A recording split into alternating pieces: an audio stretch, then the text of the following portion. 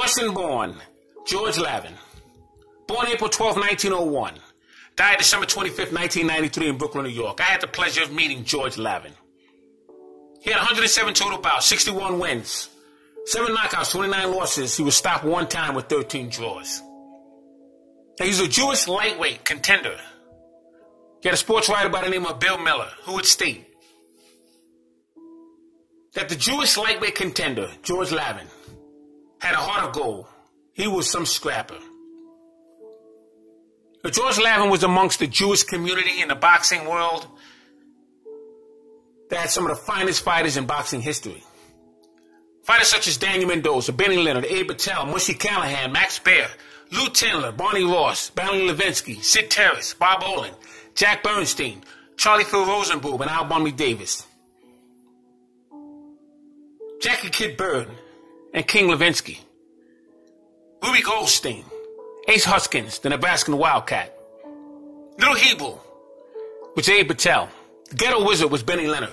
Mushy Callahan was a fine fighter. Al Singer, he was something else. Although he was knocked out by Tony Canzoneri in one round, but he himself knocked out Sammy Mandel to win that title. Has some great fighters in the Jewish community. I'm going to be doing a video on that. But Benny Valger, one of the finest Jewish fighters that is not mentioned. I'll be doing a profile on Benny Valger. But George Levine would be in the ring with Sergeant Sammy Baker, and he was a fine fighter, had 160 bouts. He was from Huntsville, Alabama. And he fought fighters such as Young Terry, Baby Joe Gans, Jackie Fields. Jackie Fields was a very good fighter. He took the title away from young Jack Thompson, and he would lose it to young Corbett the third. Sammy Baker would be in the ring with Jack Zivic and Jimmy McLarnin, Pete Myers, and young Jack John Corbett. Excuse me. He was split a victory with young Corbett the third. One win and one loss. William Gorilla Jones was the middleweight champion. These would be the opponents of Salmon, Sergeant Sammy Baker.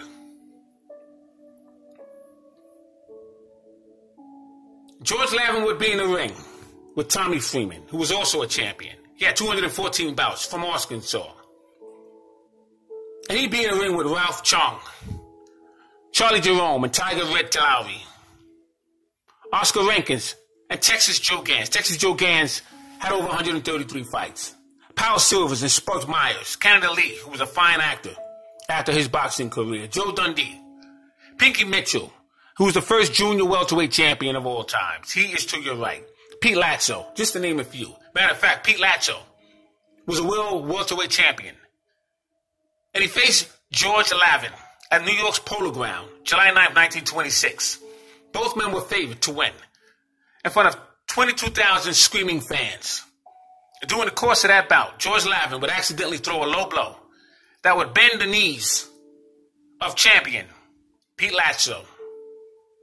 And unfortunately for George Levine, he would be disqualified. On June 16, 1926, they would have a rematch.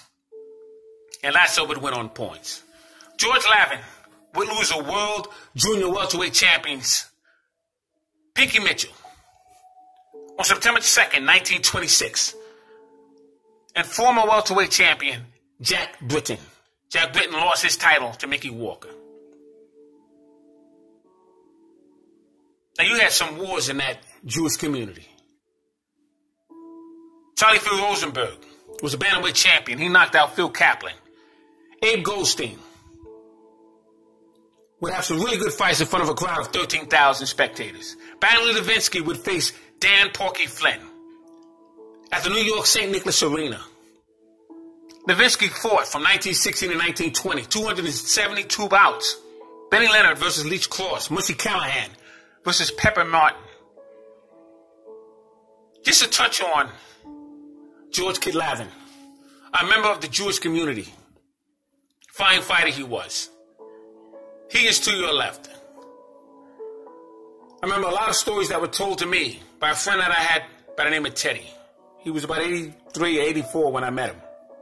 Met him when I was seven and a half years old. And the stories he told me about the Jewish fighters. is beyond belief. They were master, master boxers. They really were. And as I stated, I will be talking about some Jewish fighters in my next video. Because he had some great ones. George Levine. You can find him in San Francisco, in Cleveland, in New York, all over. But he was some fighter. Just wanted to touch on George Levine, Scrapbook Boxing Museum of the Forgotten Fisticuff series. All great fighters and all great fights will never be forgotten on my channel. Salute to my subscribers. Salute to George Levine. Thanks for your time. Peace.